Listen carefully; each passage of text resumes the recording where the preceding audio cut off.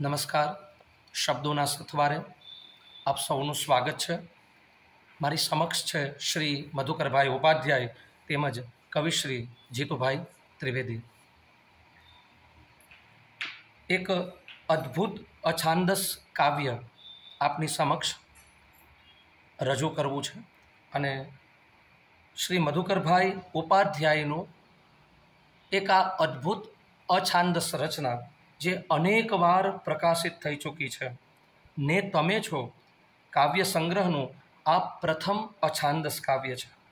જેનું નામ છે સ્વર્ગસ્થ બાને. બા છે ને એ દરેકના પર્સનલ ભગવાન છે. દરેકની પોતાની પોતીકી અનુભૂતિ છે. કોઈ વિવેચકે તો અદ્ભુત કહેલું છે આ કાવ્ય વિશે કે પુરુષ જાતિનું આ વૈતાલિક ગાન છે. તો વધુ સમય ન લેતા હું વિનંતી કરીશ શ્રી મધુકરભાઈ ઉપાધ્યાયને કે આપની આ ગઝલ, આપનું આ અછાંદસ કાવ્ય છે તે અમારી સમક્ષ વહેંચો. નમસ્કાર. હું નવેક વર્ષનો હોઈશ અને મારી બાની વિદાય એ સંદર્ભે આ કાવ્ય આવ્યું હતું. સ્વર્ગસ્થ બાર બા, મારું સર્જન કરીને ઈશ્વરની જેમ તું છુપાઈ તને મેં ક્યાં નથી શોધી? સ્ત્રીના દરેક રૂપમાં મેં તને શોધી છે.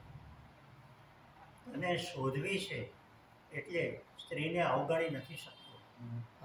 તું મળતી નથી એટલે સ્ત્રીને ચાહી નથી શકતો.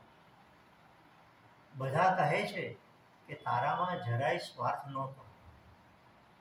તો પછી મારો સ્વર્ગ છીનવીને તું કેમ સ્વર્ગસ્થ થઈ ગઈ?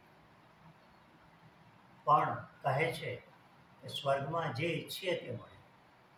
કદાચ દેવતાઓએ તારી ઈચ્છા કરી હશે. શું તને કોઈ દિવસ મારી ઈચ્છા નથી થતી? અદ્ભુત અદ્ભુત.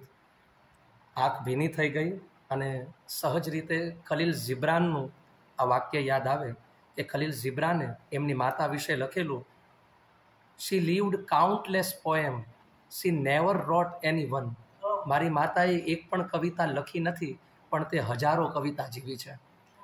આ રચના સાંભળીને દરેકને પોતીકી માની, એક માતૃશક્તિની, પરાંબા ભગવતીની અનુભૂતિ થઈ જાય.